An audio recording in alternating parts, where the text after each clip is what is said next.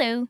This video will teach you the many ways you can use calendars in Notion to keep track of events, deadlines, schedules, and more. In Notion, calendars are databases that allow you to organize information by date. As an example, here's a content calendar for a company's blog. Every item you see on the calendar here is a post. You could use the calendar to show deadlines for posts by putting them on those dates, or to show which dates you plan to be working on a post. To add an item to a calendar, hover over the day you want to add it to and click the plus sign. To extend an item over more than one day, click and drag its edges to cover that date range. Each item on your calendar can be opened as its own Notion page, where you can add all the information you want, like properties denoting who is working on the post in question, or what type of media the post is, so for example, podcast or blog.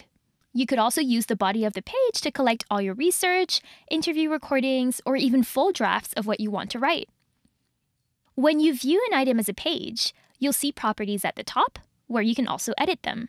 Properties are pieces of information about each entry in your calendar. Notion lets you work with many different types of properties, like dates, people, single select menus, multi select menus, numbers, text, and more.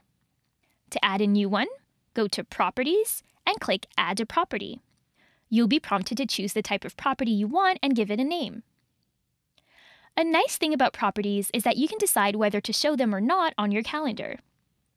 To do this, toggle on the properties you want to show and toggle off the properties you want to hide. Should you only want to display your page title, just toggle everything off.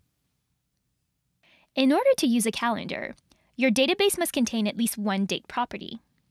If you decide to add another date property to your database, you'll see this dropdown appear. Another calendar will be created in parallel around the second date property. In this example, we have two date properties, deadline and publication date. So we also have two calendars, the one showing all deadlines and the one showing all publication dates. You can switch between the two with just a couple of clicks. Just like other types of databases in Notion, you can filter calendars to only show items that fit specific criteria. So for example, you can click Filter at the top and specify that you only want to see posts assigned to Alex. Your calendar will change in real time. Finally, let's talk about views. A calendar is one of multiple kinds of database views you can create with Notion.